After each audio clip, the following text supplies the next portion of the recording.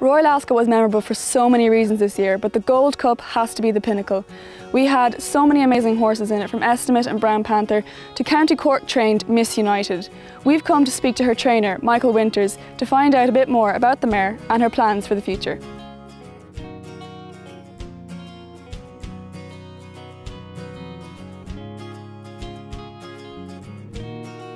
To McWinter's Yard in County Cork to meet the very gutsy race mare Missunited. I'm now joined by her wonderful owners Vanessa and Dan Hutch. I suppose Vanessa, I'm going to start with you first. I mean, this mare, she's just one in a million. You know, what does she mean to you? She's uh, a family member. She's a fantastic horse, and we're really, really lucky to have her. I just want to know that Mick Winters. I mean, why did you choose him to train the mare? Um, well, I felt she was probably uh, a national hunt mare. She was by Golan, and Golan hadn't done very much as a, a sire at that time. He was moving. He had moved from Coolmore to um, Grange Stud at that stage, and I broke her and rode her, and I was not in a tremendous rush rush with her, and I thought to myself, you know, let's see if she can win a bumper. I, I was always going to keep her. If she was no good as a racehorse, she was going to be kept because actually she's anybody could ride her when she's not fit uh, a child could ride her. You know, she's very willing and not spooky, and she marches away through the countryside that we ride through at home. Um, all the time, and you know she's uh, anybody could ride her. You could put one of those young kids up and send them away when she's not ultra fit. Obviously, not at the moment. Um, so I said to Michael, I said, run her in a bumper. Uh, I don't want her finishing last if she's that. You understand me? Doesn't show anything and um, because I'll take her away home and I'll just use her as a riding horse. And um, first time she ran, she started at 40 or 50 to 1 and she finished second in Limerick. And the jockey's remark was that um, he'd never come into the straight with so much horse under him and still couldn't win. She didn't know enough, in other words, she wasn't quite um, reeled in enough. But from there on, she learned what the game was about when, the, when, the, when she was asked for effort she always gave it. Vanessa, probably what's been your best memory with her so far? Well, I was very happy that we got to Ascot because I wanted my two sons to be there. And they were. And the, because Sebastian, who's in Australia, would come home, he said, if she won, uh, if she ran in a, a Group 1 in the Cup. And he came home, and his brother William, who's in New York, he came home as well. So we had a fantastic um, family get together, which is very difficult when you're all living everywhere now. That was very important. Um, it was uh, going to be a tough race, and it was a tough race. But she was great. She was brilliant. Well, guys, I mean, you're heading to Goodwood next week. What are your expectations for the week? We're hoping to have a very good run because she's very well and she looks very well. Uh, and uh, yeah, we're hoping for a good run. Isn't that right? Yep. And the jockey is looking forward to us. He yes. has rang us to know how things were going, yeah. and uh, he's going to be available. And we just got to hope that you know no like, small yes. things happen. That you know racing is always prone to little things happening, and we just touch wood. Everything keeps going forward and going well.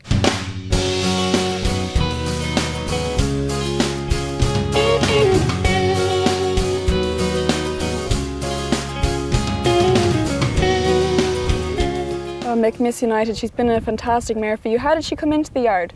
Uh, Dan Hutch uh, they, and Vanessa, his wife, they um, they bred themselves and he's our local bit. And um, I suppose we were having a nice bit of success and things. And I'd say he wanted to be accessible that he'd be able to come and see her and feel happy about the training local and things and maybe support local as well.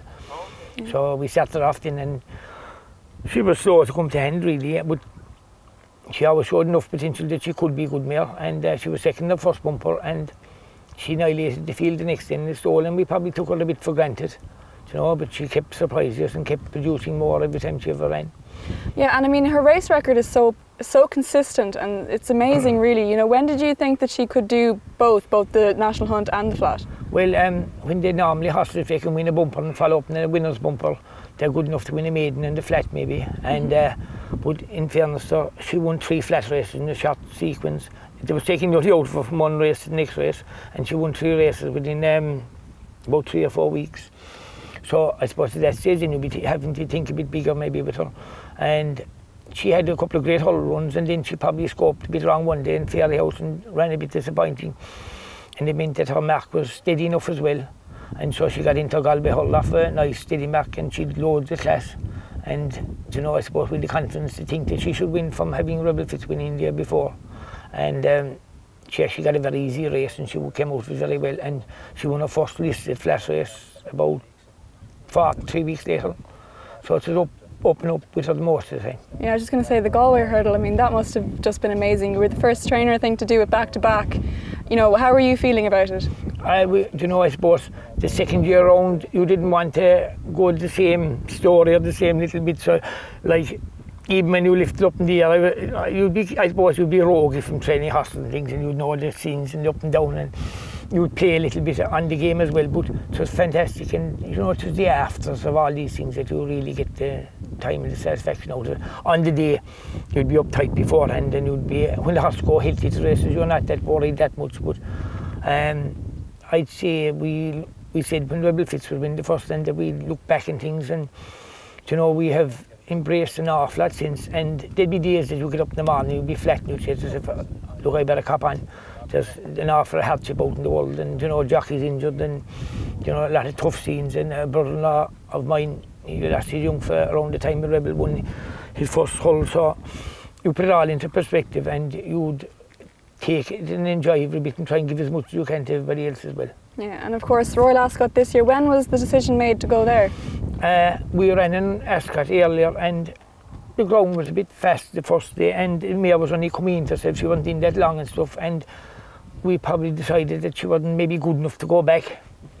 And I suppose, in fairness to Dan and Vanessa, that was their ambition to get there as well. And to run, even to run well, would be, they'd have been happy. So when she won the Saval Beg, there was no reason why you shouldn't follow it up and try and win from there. Mick, to me, she keeps, she just keeps seeming to come on every year for herself. You know, how do you keep her in such good nick? Well, um, then cuts a bag of grass the whole time for her and brings it up so she's nice and fresh. And, you know, we keep her on um, a low diet protein. They're a red milk care nut, 10%. And it means that they're supposed to treat for ulcers or for stress or anything else. And uh, meals, you can have a lot of tying up and stuff in meals. And maybe she might she might do fine anything else, but it means we're avoiding any problem, creating a problem. And uh, yeah, she ate the fruit for bush and she'd open, she carrots and we give them coking apples and if I had a bottle of Guinness for myself, I might give her a drop of it maybe, but in general, like, we give her the low grade, the low protein as regards meals, because if they tie up once, you can be in a of bother and things like that. But uh, in general, I suppose the good ones, they kind of look after themselves anyway. And when you when you were looking at the entries for the race, I mean, you had the likes of Brown Panther and there, the, the previous year's Gold Cup winner, Estimate. You know, yeah. what, what were your thoughts on that? Do you know, we'd be drifting in into and coming out of a race and we'd be worried, preoccupied with our own horse. So I wouldn't be that fierce well up in form and stuff like that. So we'd be into the race and we had, when we'd won in, already in the person, well, you were going to be near the mark anyway.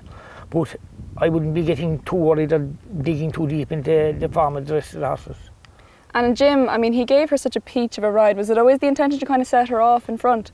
Well, ideally, if you had something else went up alongside her or something made it a fast gallop and she followed second, it would be better again. But if they if we didn't make the pace, they'd have all went around the half speed and they'd all sprinted up the finish and you'd be nowhere or you'd probably inside in the middle of them. So you really had to do your own donkey work. That's why in the flat, I suppose, that the top trainers, they have their pacemakers and they can draw a horse out and they can run the race to their own timing as such. So she had to do it her own way. But she doesn't mind and she loves to have a horse in her tail and kind of just dictate him. Maybe her, we all have our weak points or whatever I'd say, if she's bundled inside and she can't get her nose out and things, she might get a bit disappointed, but she loves the battle. And um, even on the line, let's say four strides from the line, we were all saying a lovely tub. And on the line, you realise, Jesus, two strides more. And we might have been up and got it, like. Definitely. I remember watching it and thinking, this is what we've been waiting for all week, was mm. that battle because we hadn't got it and at the Gold Cup I mean you know everybody was after the Queen's horses do it again and you know there was other horses in it and of course we had the preliminaries with you where we saw you talking to Claire and everything so we were fighting her home and you must have been pleased with her run well I tell you what you call it um, I was up in the stand watching Patricia my wife and um, I said that there must be another round to go because she was going so easy I said, are we finishing? She said, yes. Jesus said we might win this. And um, at the furlong pole then they were swallowing her a little bit. She wobbled around. She just, he, what Jim Crowley said, she looked out at the sands, so she was probably a little bit idle. So I'd say if there was something went with her and didn't pass her out, it would have been, might have been even a different result. But he gave her a great ride and you know, he knows what that he knows. So if the mare turns up 100% and right on the day and everything falls into plan, there should be nothing wanted from the jockey's quarter the next day anyway. Not that it was the last day either, like. Know. Yeah, and I mean, I suppose now the race has kind of been thrown into a bit of controversy with Estimate and the morphine. You know, how are you feeling about that? Because obviously it's the Queen's horse, but it kind of bumps you up. Well, what you, what you call it, it, does, it means that we get into second place instead of third. But as regards the Queen herself, she's 88 years of age and she's a great ambassador for racing and a lovely woman. And we have um, a great supporter of mine, Donny Sheen in Killarney. He's 88 years of age and he's born the exact same day as the Queen. And getting back to the race in Ascot, we had the picture of Donny and his date of birth and all. And if we had won, that was my donation to the Queen. I was giving her a picture of a man born the same day and the same age. And uh, know, she's a great woman. You'd hate to see too much tarring because headings and papers and stuff like that. And there's such a thin, fine line. I don't think there should be that much labelling going on. It's different, like if there's deliberate building and horses and stuff like that. And I think everything, Turf Club and all are well on top of everything that stage now. And um, you know, I'd say the racing is is fairly is straight really in, in a fair way. Like, but the um, that race we'd be delighted to have got second place out of it. But in fairness, we wouldn't uh, wish it on anybody. Like really. And how has she come out of the race? Is she eating up and has she been doing well in her work? She came out of it very easy, but like I suppose you're travelling a lot with horses and stuff like that, you're always bite your lip and hoping that the next one should be every bit as good. And it's only next Thursday she's running, and you know we're looking forward to it really. And uh, there's no reason why she mightn't win. Like we're getting cocky this stage, maybe a small bit, but you know you come down to that quick in the racing world as well. But um, you saw her walking there now, and she walked well, and so there's no reason why we shouldn't go off and do a good job. Yeah, so where is she heading next week, Mick? She's heading over to Goodwood for um, what you call it, the Lillie Langtry Stakes. It's a mile and six fillies. So um, I, I, I don't know what will turn up this. I wouldn't be studying the farm that much, but the way she's running at the moment, once going wouldn't be rock hard. There's no reason why she might, she'll be in the money anyway, surely. And I mean, you've, I don't think you've ever been to Glorious Goodwood before. What are you expecting? I, I don't well that way take things as they come. and uh, Royal Ascot was lovely last time, you know, it was very well laid out and, you know, we enjoyed it and uh, we were back home Friday morning, we were blowing the centre in the supermarket with our t-shirt on, rough and ready the following day, so we take it as it comes. I mean, you know, she is so versatile. She's not ground dependent. She's not distance dependent. She must just be the most easiest and fun horse to train. Well, um, what you got, most of the good horses, they they have they have their own agendas like that. They're either naturally athletic, maybe they have loads of stamina, maybe they're fierce sound. There's an awful lot. Well, sometimes you have a very good horse and he's very brittle. Well, there's a lot of minding in, but she's the one that so far she's been able to take the ups and downs of racing. And being a mare, then you see, there's the same pressure on because if anything happens, at least once you know what I mean, once it's fatal or anything, she can go away to stud and things. Whereas the gelding, every day you go out and you get an injury, well, that might be the end of their careers, like, you know.